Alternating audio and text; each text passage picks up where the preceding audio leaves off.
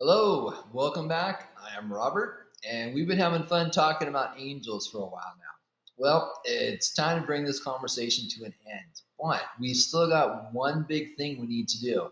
We've seen this seventh angel who does all these super cool things in scripture, but he's got no name. You know, like Shakespeare said, what's in a name? Well, a lot. And the cool thing is that he actually does have a name. And when we figure out what it is, it's going to kind of, oh, oh, oh, that's who that guy is.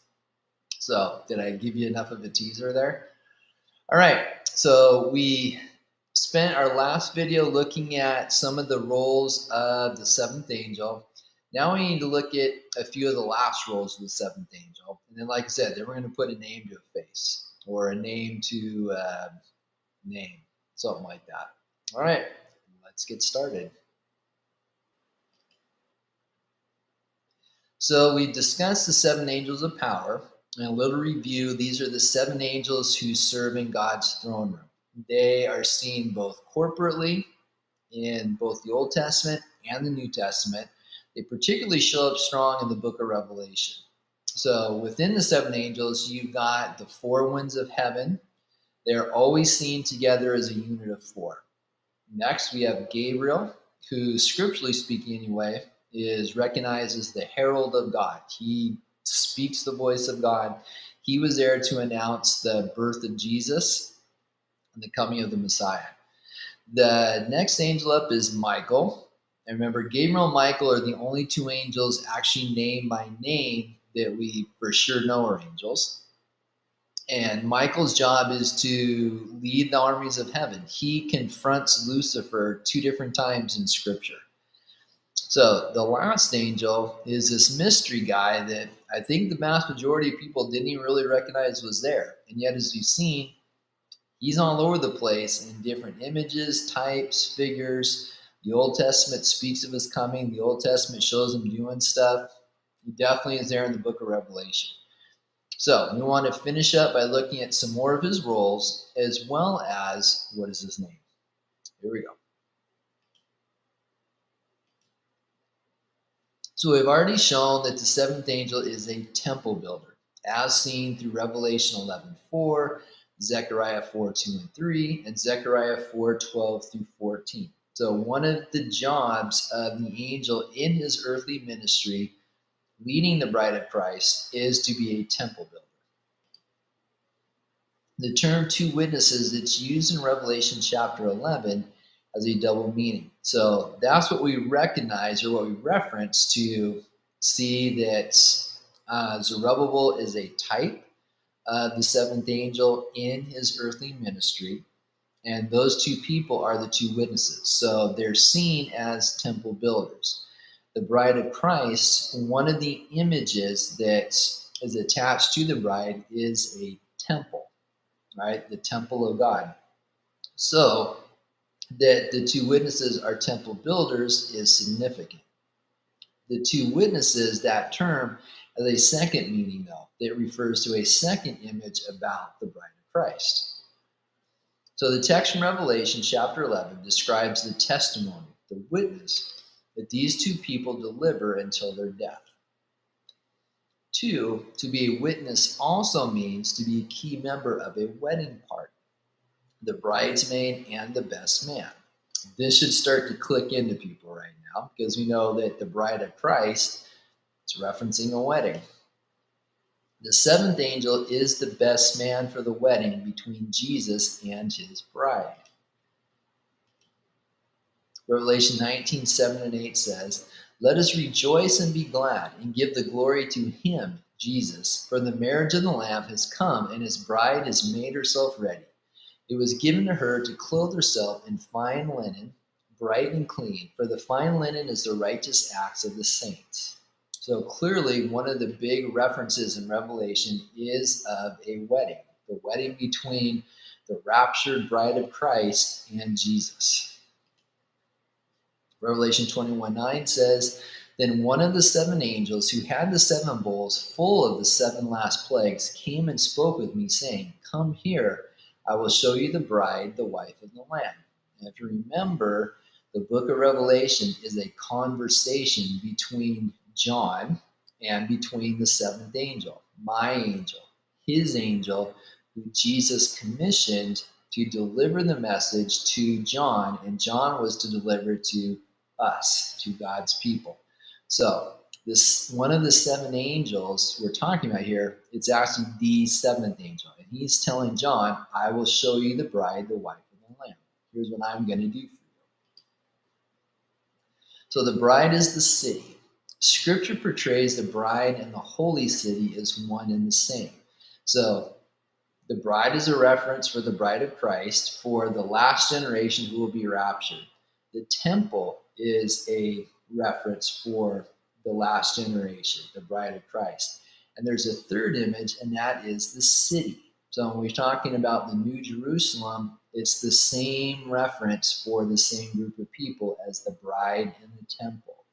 They're all references for that last generation who survived the tribulation, who refused to acknowledge or refused to worship the Antichrist and remain just and pure for Jesus. They're also seen as the city. So the best man at the wedding and the builder of the holy city are also seen as one and the same. So it says, Then one of the seven angels who had the seven bowls full of the seven last plagues came and spoke with me, saying, Come here, I will show you the bride, the wife of the Lamb. The rest of the verse that we did read before says this And he carried me away in the Spirit to a great and high mountain and showed me the holy city, Jerusalem, coming down out of heaven from God having the glory of God. So the seventh angel tells John, I'm going to show you the bride. And then the first thing he does is he shows the city. So the bride is the city. It's just another name for that same group of people. Revelation 21 9 through 15 says this Then one of the seven angels who had the seven bowls full of the seven last plagues came and spoke with me, saying, Come here I will show you the bride, the wife of the Lamb. And he carried me away in the Spirit to a great and high mountain, and showed me the holy city Jerusalem, coming down out of heaven from God, having the glory of God. Her brilliance was like a very costly stone, as a stone of crystal clear jasper.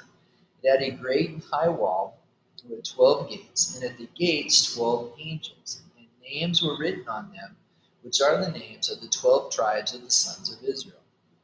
There were three gates on the east, and three gates on the north, and three gates on the south, and three gates on the west.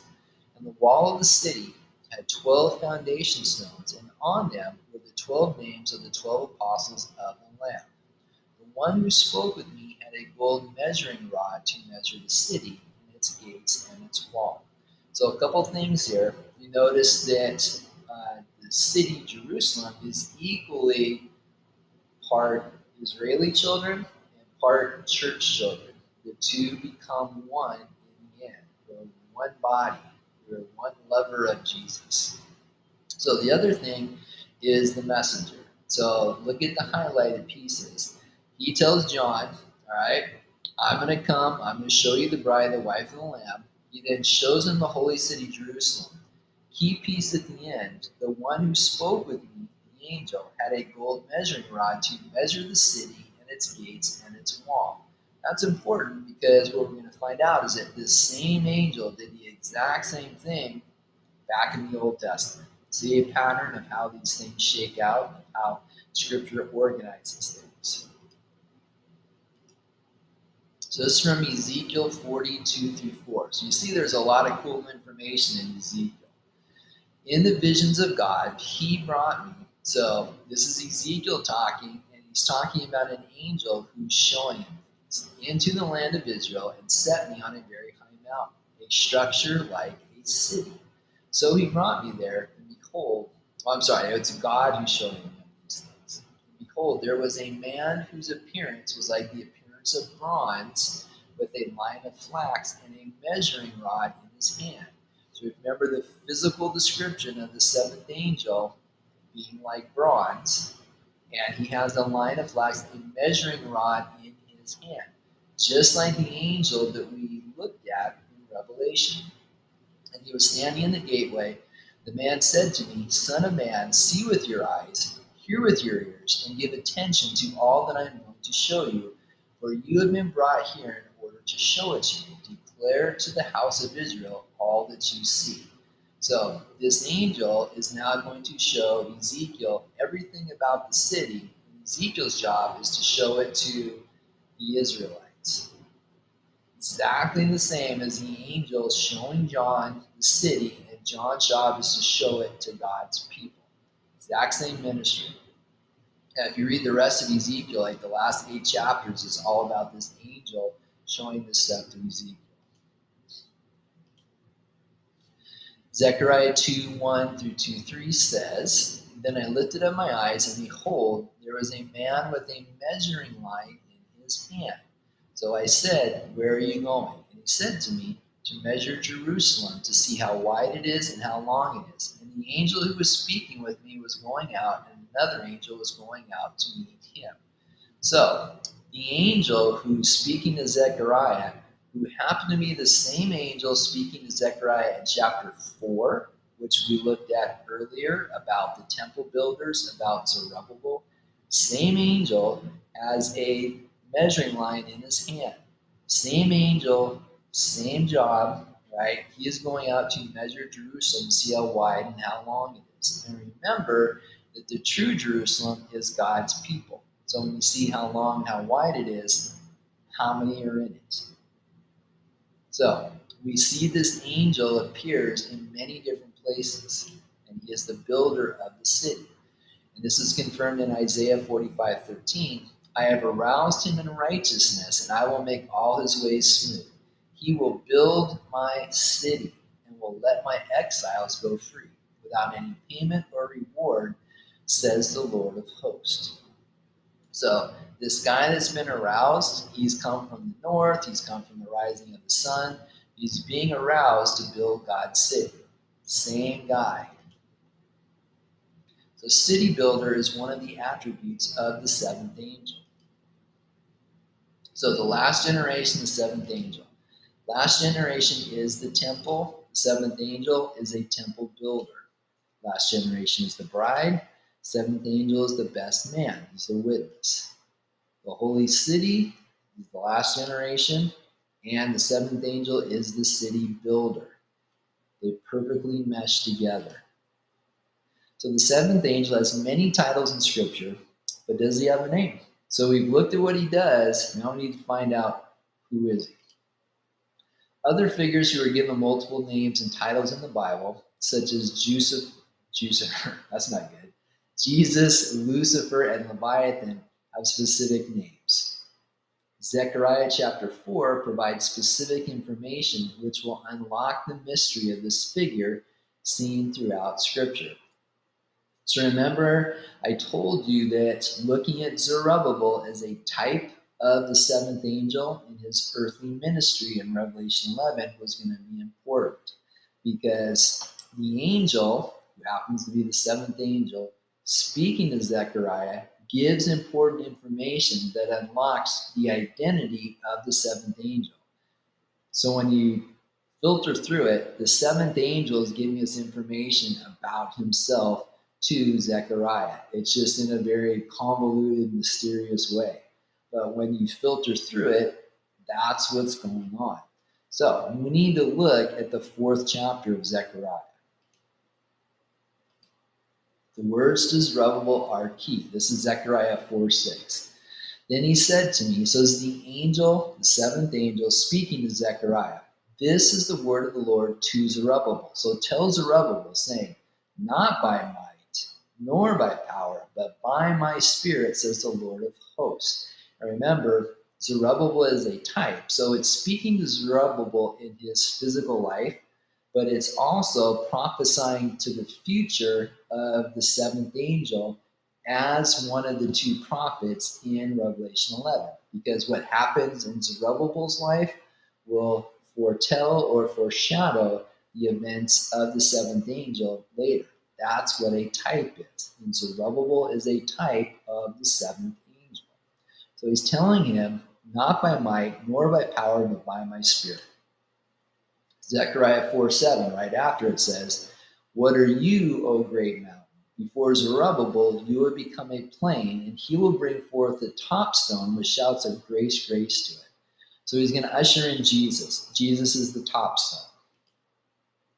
And then Zechariah 4 8 and 9 says, Also the word of the Lord came to me, saying, The hands of Zerubbabel have laid the foundation of this house, and his hands will finish it. Then you will know that the Lord of hosts has sent me to you. And lastly, Zechariah 4:10, For who has despised the day of small things? But these seven will be glad when they see the plumb line in the hand of Zerubbabel. These are the eyes of the Lord, which reigns to and fro throughout the earth. Remember the measuring line that's in the hand of the seventh angel? Well, we're foretelling he's going to get that plumb line, that measuring line, and the Holy Spirit, the seven eyes, are going to be happy about it.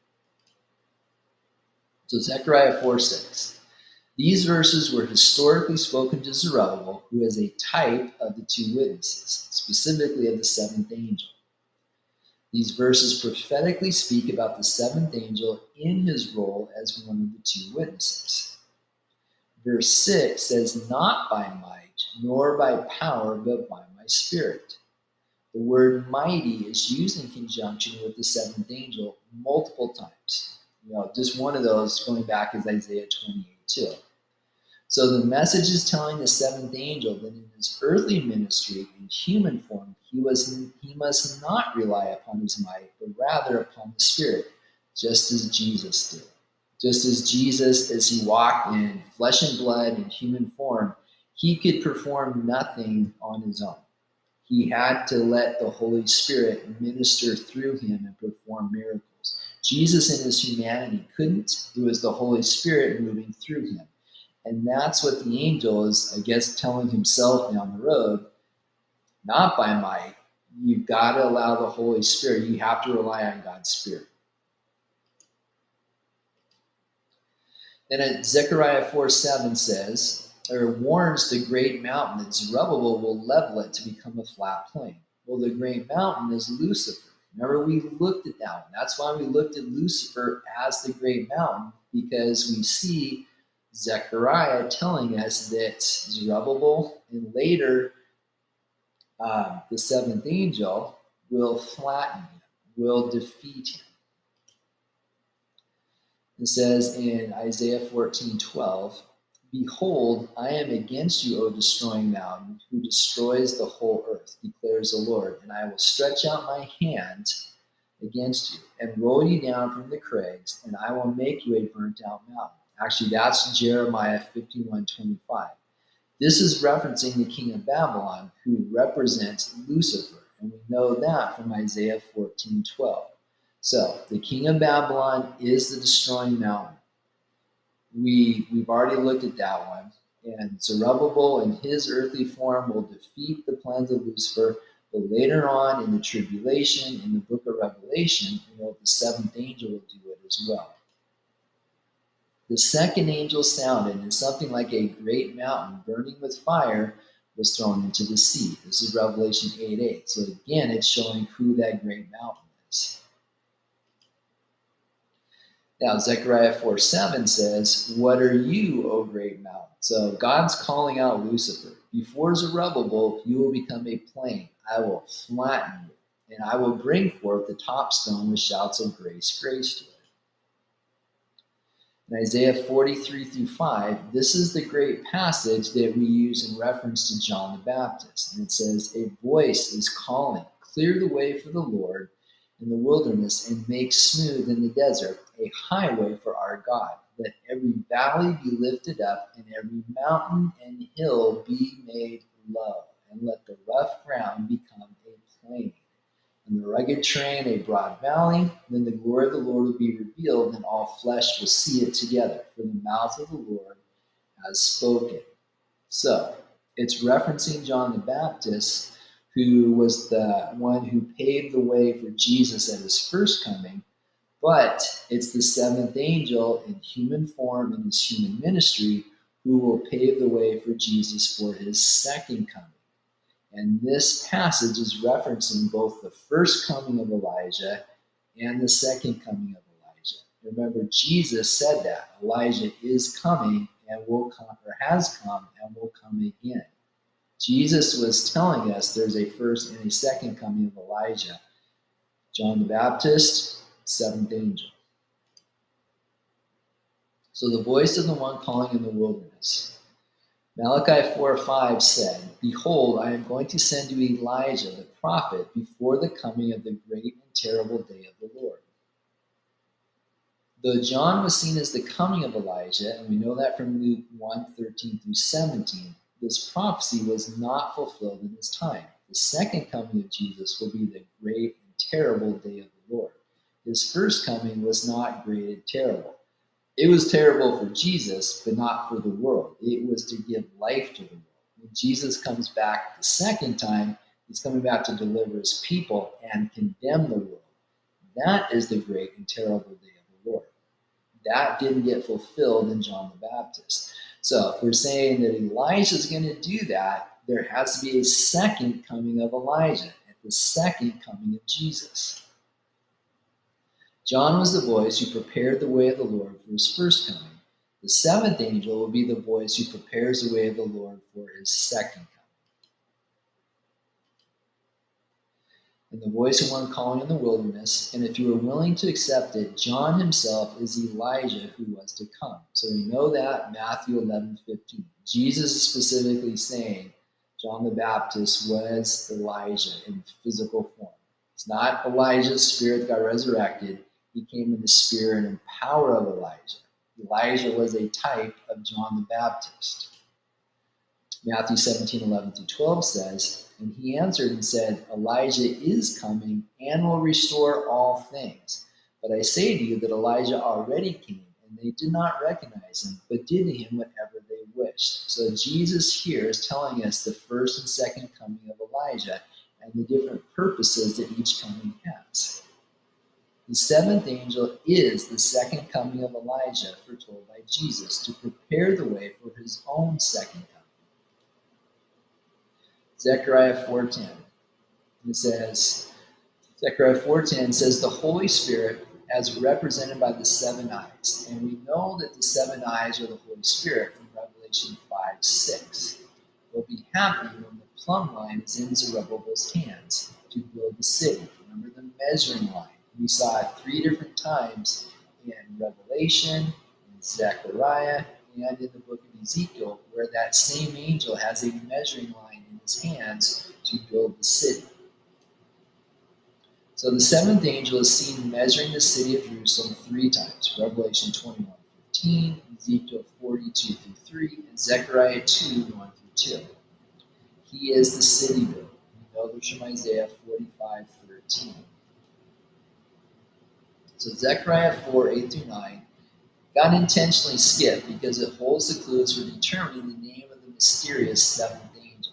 It is the last big piece of information we have to look at. The phrase, the hands of Zerubbabel have laid the foundation of this house, and his hands will finish it, is used to reference the work accomplished by the historical figure Zerubbabel to build the second Jewish temple. But the prophetic implication refers to the seventh angel who Zerubbabel represents, who he is a type of. The house spoken of isn't a physical temple, but rather the children of God being portrayed as a temple. So Revelation chapter 7 says the last generation began with a promise to Abraham. Before that promise was made to Abraham, a figure named Melchizedek blessed Abraham with bread it says in Genesis 14, 18 through 20, and Melchizedek, king of Salem, brought out bread and wine. Now he was a priest of God Most High. Remember, the seven angels of the throne room are priests. It says, He blessed Abraham and said, Blessed be Abram of God Most High, possessor of heaven and earth, and blessed be God Most High, who has delivered your enemies into your hand. He gave him a tenth of all. So Abraham gave a tenth of what he had to Melchizedek. In Genesis 14, 18, 18 to 20, we look at Melchizedek as a priest of God. Revelation 14, 5, Melchizedek was called a priest of God Most High. We already know that the seventh angel is consecrated, Isaiah 13 3, as a priest and serves in the temple of God in heaven, which we see in Revelation 14 5. So, to get the best portrait of Melchizedek, we have to look at Hebrews 7 1 through 4. It says, For this Melchizedek, king of Salem, priest of the Most High God, who met Abraham as he was returning from the slaughter of the kings and blessed him, to whom also Abraham apportioned a tenth part of all the spoils, was first of all, by the translation of his name, King of righteousness, and then also King of Salem, which is King of peace, without father, without mother, without genealogy, having neither beginning of days nor end of life. He can't be human if he doesn't have those things, but made like the Son of God. So he can't be God because he's made like the Son of God. It's a comparison between two things Melchizedek and Jesus. Melchizedek is made like Jesus, but he isn't Jesus. He remains a priest perpetually. So again, he lives on eternally. He is immortal. He's not human. So if you're not human and you're not God, there's really only one answer left. You got to be an angel. It says, Then the patriarch gave uh, Melchizedek a tenth of the choicest spoils. This is Hebrews 7 1 through 4. So the text in Hebrews makes it clear Melchizedek is not a man, having no mother or father, or having neither beginning nor end of days. He is immortal. Nor is he God. One made like the Son of God can't. So he must be an angel, either a fallen angel or a servant of the light, or a fallen angel or a servant of the light. But the text clearly indicates he's a servant of God. By process of elimination, Melchizedek must be an angel. So Melchizedek's role just as John came in advance to prepare the way for Jesus, so too did Melchizedek. Because Melchizedek introduced the elements of the Eucharist, the bread and the wine, as a forerunner of Christ's body and blood that were shed on the cross. So the act of Melchizedek was as a type pointing the way toward Jesus later on. Therefore, the Melchizedek priesthood is named after Melchizedek but Jesus is the fulfillment of the Melchizedek priesthood, as described in the book of Hebrews. So the fact that Melchizedek is like the Son of God, that's the key to everything. Melchizedek is the only being besides Jesus who carries the dual titles of both king and priest. Nobody else but Jesus and Melchizedek have this. Based on the text in Daniel chapter 10 and Revelation chapter 1, Jesus and the seventh angel, Melchizedek, bear a remarkable physical appearance or physical resemblance. The earthly ministry of each figure is remarkably similar as well. Each left heaven to occupy an earthly body. And each will or did minister for 3.5 years. Each was or will be killed then was or will be raised to life. Both are attributed with saving the children of God. Both Jesus and Melchizedek, the seventh angel, are attributed with saving the children of God. And we know that from Isaiah 63 8 9, which you've already read. And the angel of his presence saved them. So, Melchizedek is the angelic being who Jesus described in Revelation as my or his angel. And you can see why there is a special, unique, close relationship between these two. Melchizedek seems to bear the closest relationship with Jesus of any other created being, just as when Jesus walked the earth, he was closest to the Apostle John. Melchizedek is the seventh angel of the throne room who will come to the who will come at the end of the age to deliver the children of God from the hand of Satan. So, what have we learned? Seventh angel, he appears throughout Scripture. He is the leader of the angels. He will come in earthly form to prepare the children of God to meet Jesus at the rapture. His name is Melchizedek.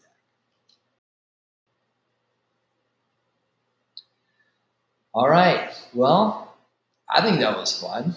And we closed up, we brought closure to a great mystery. Lots of people have asked, who is Melchizedek? Nobody was asking who the seventh angel is because I don't think anybody really recognized he was out there. Now we know that these two great mysterious figures are actually one and the same. And like I said, he's all over the place. Now that we see him, we see that he has been used mightily by God from Genesis through Revelation. He is Christ's right hand man. There's a reason why Jesus entrusted him to deliver the message of Revelation about his second coming to John. He didn't entrust it to anybody else. Well, that is the end of our look at angels. It's the end of our look at demons. It's the end of our looking at who the primary players are as we go into the book of Revelation. Now it's time to look at the actual verses and see what are the events, what are the timelines of things, what are the mysteries that we need to have solved and know so that God's people can survive to the end, to actually see the return of our Lord Jesus in the clouds. So, as good as this was, it's just going to get better. Be blessed, and I look forward to seeing you again.